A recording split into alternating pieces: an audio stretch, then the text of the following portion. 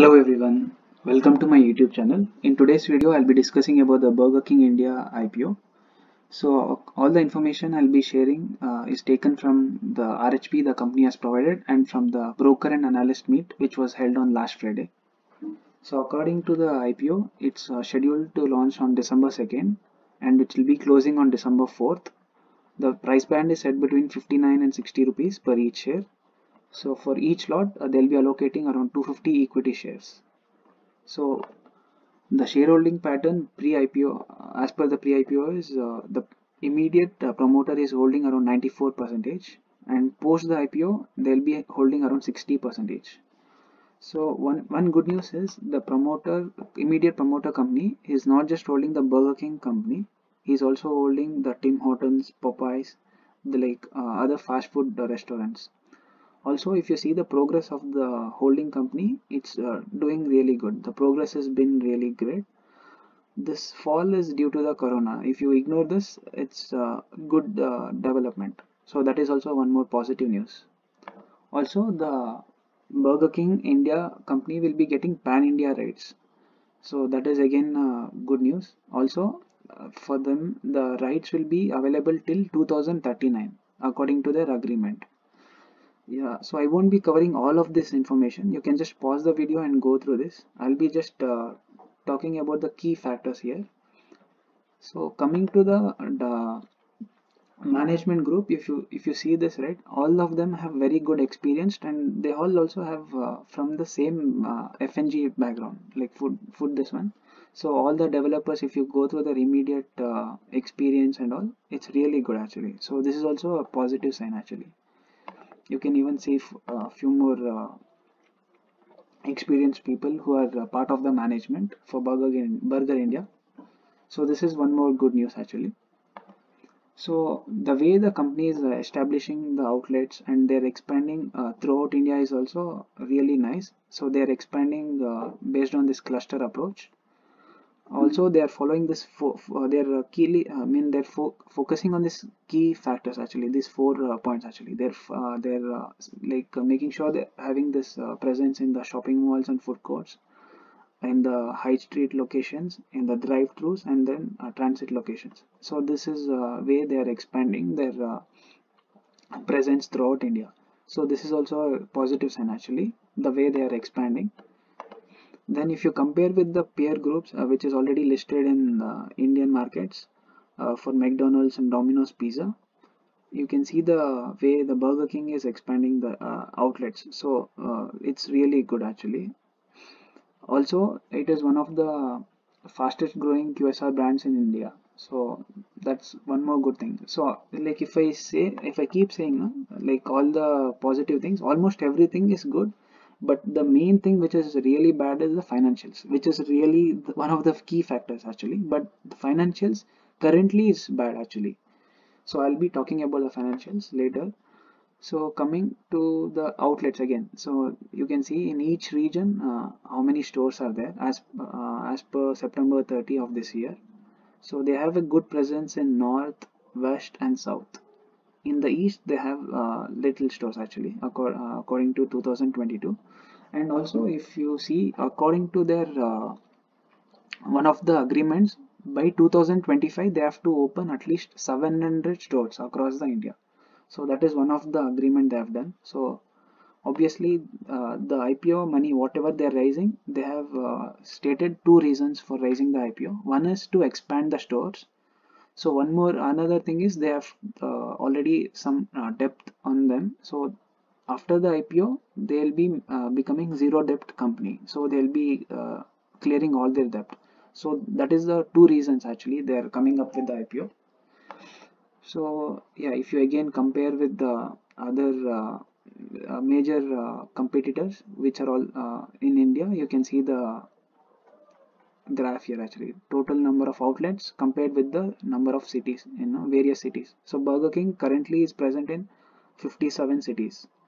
So obviously uh, in the coming years they will be expanding. So let's see that. So domino's pizza is already you know having a huge presence here. So these are the, some of the awards and recognitions or certificates uh, burger king india has already got or received this is a 360 degree approach according to them. So according to this what they actually mean is they're having already a very sound uh, technology uh, team which is working on their apps or website and other uh, key factors actually. Also the information whatever the user is providing right uh, through whether it is web, through the website or through the app they're also collecting that information and uh, analyzing it and coming up with various uh, factors actually. Like if you if you see the burger king india has presence uh, not just in India but in uh, worldwide you know around like 100 countries they are uh, already having presence. So in the analyst meet in the broker analyst meet the Burger King India management they told us that all the information whatever they collect right they will be analyzing like from each store which is the main uh, food which is uh, getting sold or uh, which is the main item which is having the most number of orders or something like that. So based on that also they'll be analyzing and coming up to some something which can help them increase their sales or uh, give a particular offer or something like that. So that is also something really good. So then coming to this uh, if you compare with the already listed uh, groups like uh, Jubilant Foodworks this is the holding or uh, having the master rights for Domino's Pizza Westlife Development have the master uh, rights for uh, McDonald's, but it's only having in uh, two regions. But whereas for Burger King India, they have the rights for Pan India. So currently, uh, the market share and total income, this is the figures actually. So this uh, figure itself sees, uh, I mean, you can understand. So this is the current status. As of now, they have 249 stores.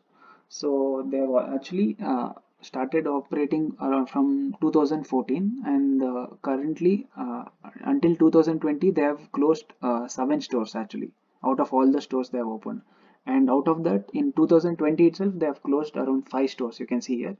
And that is obviously due to this uh, covid reasons and uh, one more good news actually for just before the pre-launch of ipo you can see here uh, where is the information? Yeah amansa group has invested on this company and they have bought uh, uh, each share at the average price of 58.50 and currently the IPO is coming up with 59 to 60 as a price band. So that is also uh, good news actually. It means the pricing is uh, kept uh, at a proper rate actually and these are other uh, few information. You can just pause the video and go through each one of them. I'll be not discussing everything actually. So these are like the main summary actually. If you see the main summary so the master franchisee will have the pan india rights. Also the royalty fee whatever they have to provide uh, is capped at just 5% for each uh, sale. Also for advertisement also the 5% it's capped actually other than this uh, i already spoke about this 360 degree approach and uh, also the food item you know that is that is the most important thing. And uh, they have uh, tailored uh, menu for the uh, indian the indian people. Also i have they also told us that they have more number of veg options. So that is also one more good news actually. So overall if you see most of the things is really good for this company. But like i said in between the discussion one of the key factors is the financials. But the financial is currently bad. So the company is not yet uh, uh, it's not yet making profit actually. They have uh, listed loss each year. And uh, in 2020 the uh, loss has increased actually compared to 2019 but you know one of the reason for that but that is not just the reason. All uh, it's still not yet made profit. That is really concerning. But if you consider any fast food chain especially like this which is coming up uh, throughout india or something in a large way initially they will be making loss and slowly they'll uh, come into profit. So we have to wait and see. So uh, if i if you ask me whether you need to subscribe for this ipo or not i would say you need to wait till december 4 and see how the subscription is happening. So currently it is uh, good actually because the gray market premium if you see it is around 40 percentage. So definitely you'll be getting some listing gains if you're uh, getting the IPO allotment. So currently it's looking good. But i suggest you to wait till december 1st whereas you'll get uh, who get to know who are the anchor uh, investors. Then on december 4th by then you'll get a clear idea uh, based on the subscription ratio you can decide whether you have to subscribe or not. So i'll be leaving a comment on uh, december 4th uh, around uh, before 12 o'clock whether i will be subscribing for this uh, burger king india ipo or not. So you can also leave your comments and also your analysis. If i've missed any particular point or something you can also leave your comments and tell whether you're going to subscribe. If you're going to subscribe why?